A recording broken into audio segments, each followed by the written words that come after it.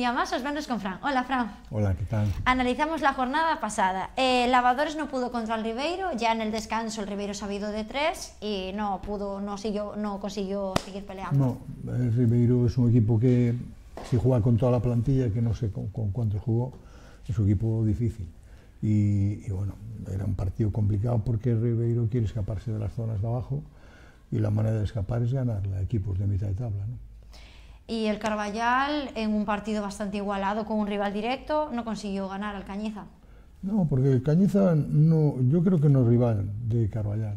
O sea, Cañiza tiene una plantilla muy buena, un equipo que, por las circunstancias que sea, aún está en zonas medias bajas, pero es un equipo que por plantilla yo creo que podrá quedar quinto o sexto, más o menos. El Tejino no pudo contra el Lanzarote, un partido que era no, un poco y, obvio. Pero bueno, pero estuvieron igualados. Llevaron de ir 3, 4 en el segundo tiempo, 3, 4, pero bueno, fue, fue un, un partido en donde eh, el Lanzarote se juega como en todos los partidos, en no perder el liderato y se lo llevó al final. Y el Bueu pierde contra el Siria, contra uno de los sí. favoritos de la liga. Sí, lo hablábamos que el Bueu le tocó ya Lanzarote, Chapela, Siria, claro, y esos partidos todavía aún no lo habían tocado. Entonces es normal que un equipo como el Siria, que va a estar arriba seguro, pues derrotar a Lavadores. Perdón, al Bueo. El Luceros en casa ganó el Ingenio, solo de dos. Bueno, pero estamos hablando de que, eh, de que el Luceros con toda la plantilla y aún así, aún faltándole algún jugador, pues tiene buenos jugadores. Es un equipo que, que, que, y máximo en su campo es difícil derrotarle. Y el Teucro también se fueron al principio y mantuvieron controlado el partido contra el Teucro sin problemas. Sí, sí, sí. Eh, a ver, son, son, partidos que normalmente, eh, el, en este caso la LIN es un equipo muy fuerte, muy fuerte y el resultado, bueno, pero aún estuvieron al final de tres goles, aún estuvieron ahí los de de Teucro hasta el final del partido. ¿no? Y, nuestro, y el nuestro, un partidazo, contraataque, sobre todo nos centramos en la defensa y luego todo era contraataque, no pudo respirar nada. No, porque a nivel defensivo, al inicio, los primeros minutos, no estábamos del todo ajustada, pero bueno, estaba, la verdad es que estaba Nani parando muy bien y en el momento que cerramos bien la defensa nos fuimos muy rápido, pero muy rápido lo que tú dices a base de contraataque. Estábamos defendiendo, el equipo corre mucho, tiene extremos muy rápidos y la primera línea llega también con ellos. Y bueno, nos fuimos, aunque ellos trataron de igualar un poquito, pero nos fuimos ya de 8 goles y luego al final nos pusimos de 13 ya faltando aún 15 o 20 minutos y bueno, estaba el partido controlado. ¿Crees que fue el mejor partido hasta ahora? No sé si fue el mejor o no, pero bueno, fue un buen partido, la verdad. Eh, aunque yo luego cuando veo el vídeo, pues siempre veo algún error que, que, hay que tratar de mejorar, pero era una, una cancha difícil y nos encontramos un equipo que, que venía de ganar partidos con jugadores buenos y yo creo, personalmente creo que, que no supieron valorar demasiado el Chapela, el equipo de Me parece a mí, me pareció a mí.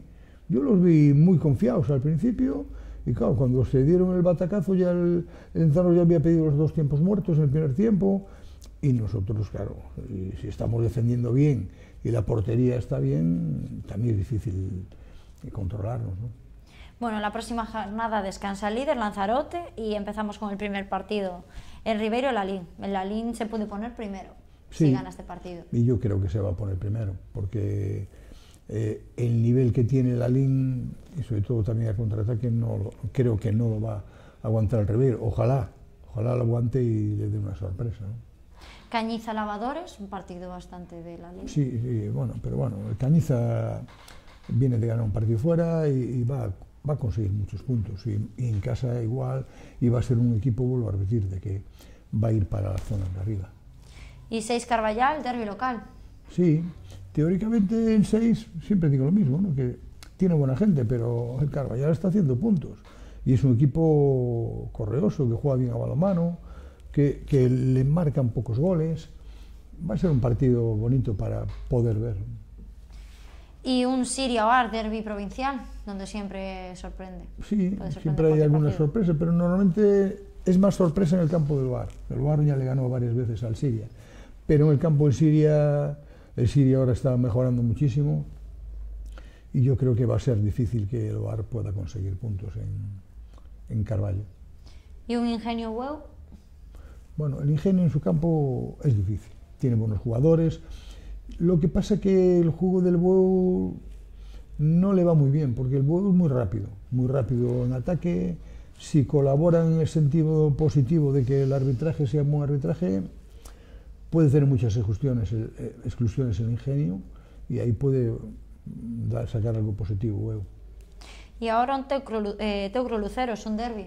Sí, y, y un derby con. No sabemos con cuál, qué jugadores jugarán. Claro. Pero bueno, el, el, el, el Luceros, me imagino que irá con todos, porque ya jugó este miércoles. Y el Teucro son partidos que les gusta a los chavales jugar de estos dos filiales y tal, y les gusta, y va a ser un poquito, un partido muy igualado.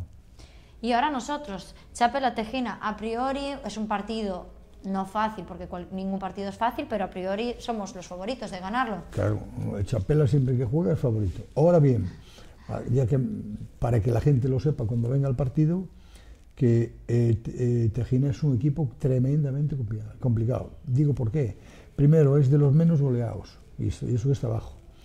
Perdió tres partidos de un gol solamente, ganando los partidos y en los minutos finales los perdió. Empató con Cañiza, ganó a Lavadores, o sea, es un equipo que no sé qué decirte ahora porque cuando empiece el partido el sábado y los vea, veré quiénes juegan, porque tiene ya se mudaron con el Tejena 23 jugadores. Entonces, aparte, es tremendamente difícil, complica- y complicado verlos en los vídeos porque hay jugadores que jugaron hasta con cuatro números, que eso no puede ser. O sea, los equipos, cada jugador debe tener un número y, estos jugadores dices, hostia, veo al, al 20, que es el lateral derecho, y que con el 6 de Nadal pues juega el 4. Y dices, joder, pero no son los mismos. Y, así pasa. Y por ejemplo, el otro día, el, el, el 3, un, un lateral, extremo, central, no, no, ya vi el partido de Lanzarote, no viajó. Y sin embargo, el Preciado, el, más emulador, en el campo de Seida Nadal, por ejemplo, no viajó, pero lleva partidos de 13 y 14 goles. Entonces, es muy complicado controlar con qué equipo juega. Y eh, los ataques, hay que ver el arbitraje como es, porque los ataques son tremendamente largos, evidentemente. También le meten pocos goles, porque ellos de 60 minutos tienen un tanto por cien muy elevado la posesión del balón. Entonces, claro, eh, si no les controlan el pasivo, hay que defender muy bien para que no marquen y nosotros correr al contraataque en ataque estático. Ellos son grandes, son fuertes y sacar el partido porque no hay otra. Nuestro equipo tiene que ese partido sacarlo sí o sí porque la semana siguiente descansamos y hay que llegar a la última jornada con bastantes puntos. Bueno, acabamos aquí el, análisis semanal de la jornada pasada. Muchas gracias, Fran, y suerte en el este fin de semana. Muy bien, gracias.